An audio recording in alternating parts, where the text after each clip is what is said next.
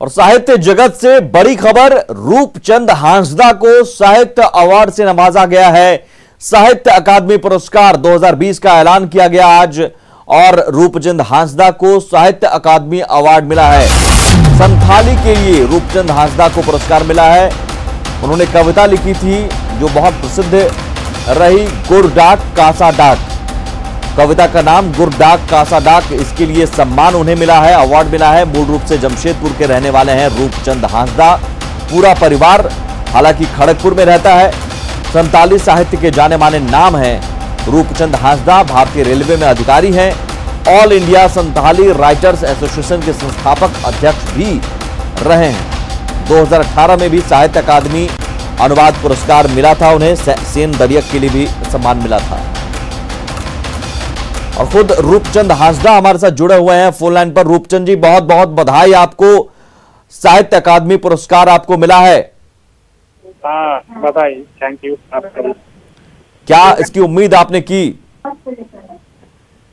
हाँ उम्मीद तो क्या हम राइटर तो लिखते जाते हैं। लिख गए हैं मैं तो ट्वेंटी वन मैंने इक्कीस किताब लिख के छाप छपवा दिया। उसके बाद भी गए।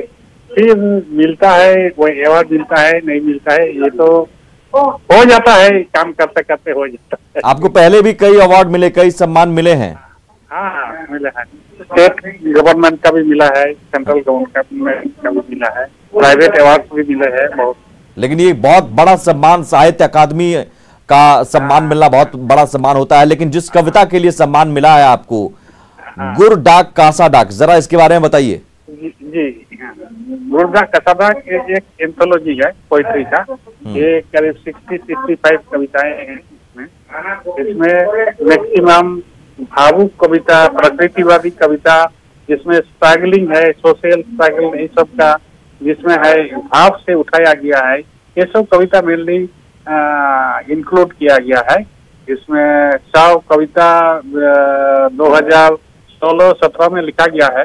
इसमें 2018 में पब्लिश किया है ये किताब।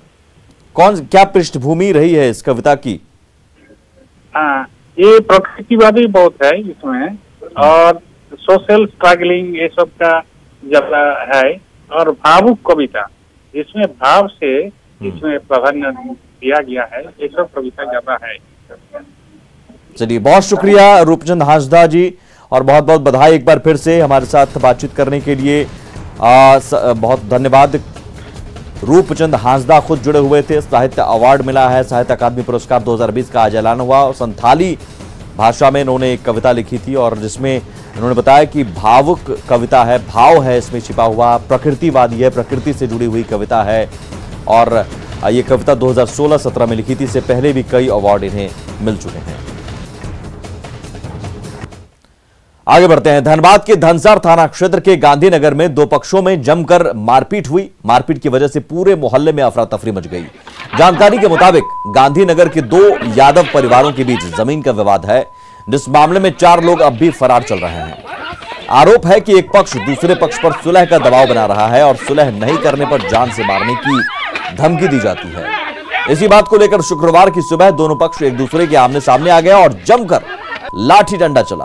महिला हो, पुरुष हो या फिर बच्चे, सभी ने खुलकर अपने हाथ का कौशल कौशल दिखाया इस लड़ाई में और देखिए, कोई एक दूसरे से पीछे नहीं है। इस मारपीट में तीन लोग घायल होकर एसएनएमसीएच में भर्ती बताए जाते हैं।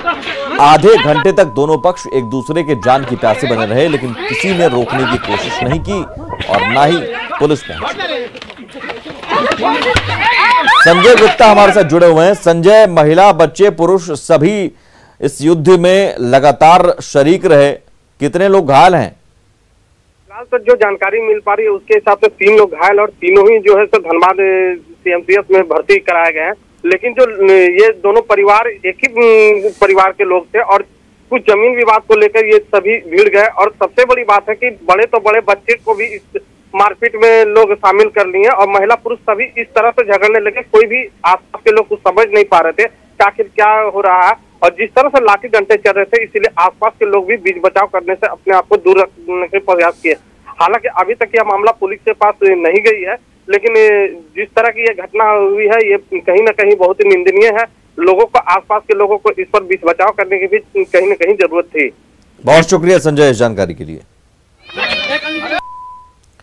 पूरे दमखम के साथ बंगाल चुनाव में उतरने की घोषणा करने वाले जेएमएम ने अब जंग से पहले ही मैदान छोड़ दिया है। झारखंड में कांग्रेस के साथ सरकार चला रहे जेएमएम ने बंगाल में हाथ का साथ छोड़ दिया है और ममता बनर्जी के समर्थन की घोषणा की है। जेएमएम के इस फैसले पर कांग्रेस ने सवाल उठाया है, वहीं बीजेपी ने भी तंज कसा है। जंग से पहले जेएमएम ने छोड़ा मैदान। बंगाल चुनाव नहीं लड़ने का ऐलान। ममता बनर्जी के समर्थन की घोषणा।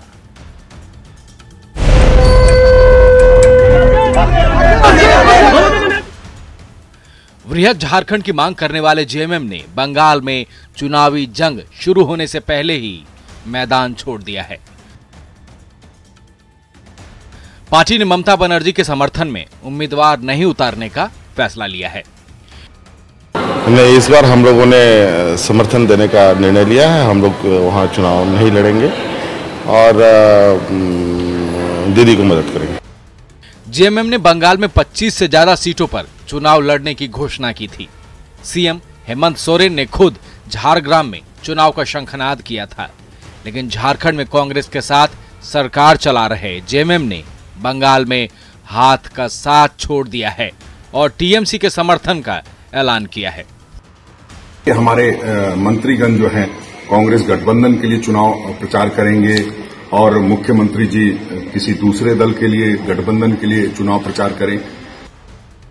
2016 में जेएमएम ने बंगाल की 20 सीटों पर उम्मीदवार उतारे थे लेकिन पार्टी को मुँह की खानी पड़ी थी।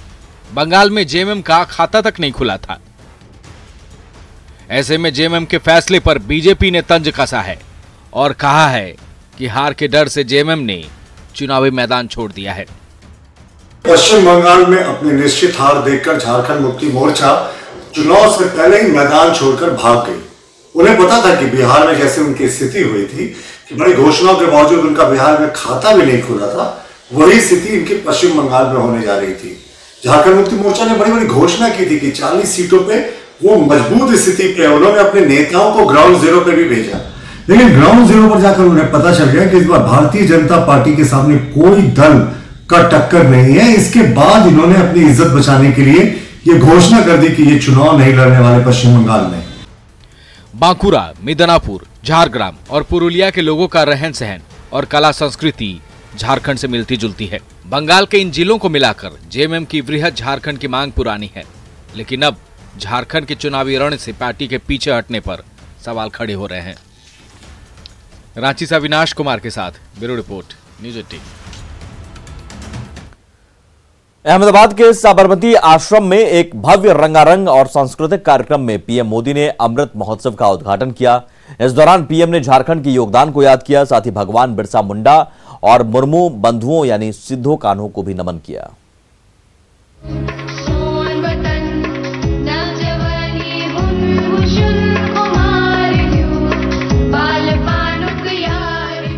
झारखंड में भगवान बिरसा मुंडा, उन्होंने अंग्रेज़ों को चुनौती दी थी। तो मुर्मू भाइयों ने संथाल आंदोलन का नेतृत्व किया था। दांडी मार्च के इक्यानवे साल पूरे होने के मौके पर आज़ादी के अमृत महोत्सव का आगाज़ हुआ। प्रधानमंत्री नरेंद्र मोदी ने गुजरात के साबरमती आश्रम से इस कार्यक्रम की शुरुआत की। इस दौरान लगातार 75 हफ़्ते तक देश भर में 75 जगहों पर कार्यक्रम का आयोजन किया जाएगा। आज़ादी के 75 साल का यह अवसर एक अमृत की तरह वर्तमान पीढ़ी को प्राप्त होगा। एक ऐसा अमृत जो हमें प्रतिपल देश के लिए जीने देश के लिए कुछ करने के लिए प्रेरित करेगा। अमृत महोत्सव की शुरुआत करते हुए पीएम मोदी ने झारखंड के योगदान को याद किया। साथ ही भगवान बिरसा मुंडा और मुर्मू बंधुओं यानी सिद्धो कान्हों को भी नमन किया। किसी राष्ट्र का भविष्य तभी उज्जवल होता है जब वो अपने अतीत के अनुभवों और विरासत के गर्व से पल पल जुड़ा रहता है। आज़ादी के महोत्सव के ज़रिए स्वतंत्रता सेनानियों के आज़ाद भारत की परिकल्पना को जन जन तक पहुंचाना है ताकि आज की पीढ़ी देश के लिए जीने और कुछ करने के लिए प्रेरित हो। Bureau report news eighteen network. खबरें अभी और भी हैं लौटते हैं बस थोड़ी ही देर में। देवघर को हवाई सेवा से जोड़ने के लिए कुंडा में तेज़ी से एयरपोर्ट निर्माण का काम चल रहा है और मई महीने से उड़ान सेवा शुरू होने की संभावना जताई जा रही है। देवघर एयरपोर्ट निदेशक के मुताबिक Spice Jet IndiGo, Air Asia समेत अन्य प्राइवेट एयरलाइंस से हवाई परिचालन के लिए बात चल रही है। शुरुआत में दिल्ली, कोलकाता, पटना और वाराणसी जैसे शहरों के लिए उड़ान सेवा शुरू की जा सकती है। हालाँकि एयरपोर्ट की सेफ्टी, सिक्योरिटी और अन्य सुविधाओं की समीक्षा के बाद ही कोई अंतिम फैसला लिया जाएगा।